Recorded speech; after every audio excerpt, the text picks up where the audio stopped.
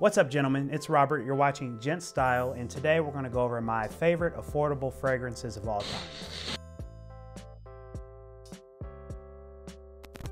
First things first, guys, I want to go ahead and give a disclaimer. I like all these colognes. I've tried all of these, and the opinions in this video are mine and no one else's. So everyone that you meet is going to have their own opinions, and I'm going to share with you guys today mine. The first fragrance that I want to talk about is this teakwood fragrance. I got this from Bath & Body Works. It's a very nice fragrance, and I'm kind of out. It was only $30, and it's a, a very pineapple-y. It's a very uh, fruity fragrance. And so if you want something that's got a little bit more sweetness to it, this is definitely the one that I think you should go for. So this cologne is very special to me. My aunt got this for me a couple of years ago and this is my second bottle. But this stuff, it's got, to me, it smells like cinnamon and it's a very strong fragrance. Now, this isn't something that I'd recommend you wear every day because the smell of this is very strong. This, when I walk into places, people definitely can smell this, and it definitely is one of those that are punchy and that stands out. This one also is a little bit more expensive. It is $65 for a bottle on Amazon, so it's kind of pricey. Sometimes you can find these on sale, but it's Calvin Klein, it's a name brand, so people, they tend to put a high price point on this.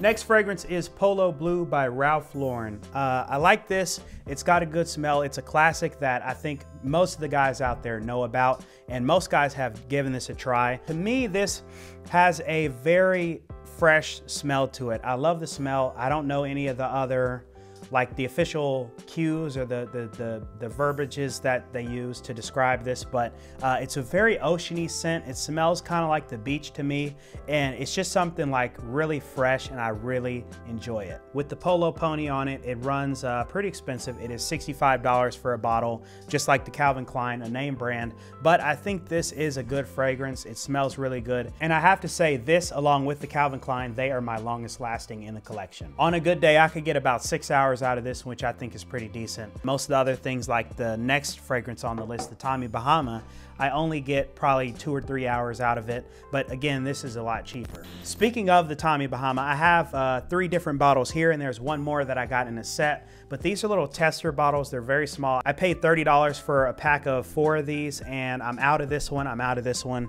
Uh, I still have a little bit of this one because I'm not a big fan of the smell.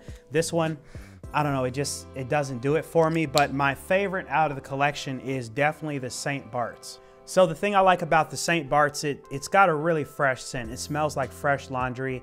Uh, I just love it. It smells very good. I get compliments on it, but the only drawback of this, it does run out quite quickly. So that is uh, something that I don't like. The other one from Tommy Bahama that I like is this St. Kitts. It's got a really good smell to it. It smells very fresh along with the St. Bart's. But again, I wouldn't buy a full bottle of both of these because $65 and you're gonna get only about three hours of use out of these. Another thing that I wanted to quickly mention, I have this classic match here, which is a ripoff of the uh, Polo Blue. And I don't recommend you buy this because one, it doesn't smell as good. It smells kind of similar, but it doesn't smell as good, but it also doesn't last nearly as long as this. So if you're gonna spend money on cologne, don't buy the knockoffs. Just go ahead and get the real thing because the real thing is gonna smell a lot better and it's gonna last you a whole lot longer. So fellas, with that being said, I hope you enjoyed today's video. If you did so, go ahead and hit that like button. Also, be sure to subscribe and share. And with that being said, I'm Robert, this is Gent Style, and I'll see you guys in the next video.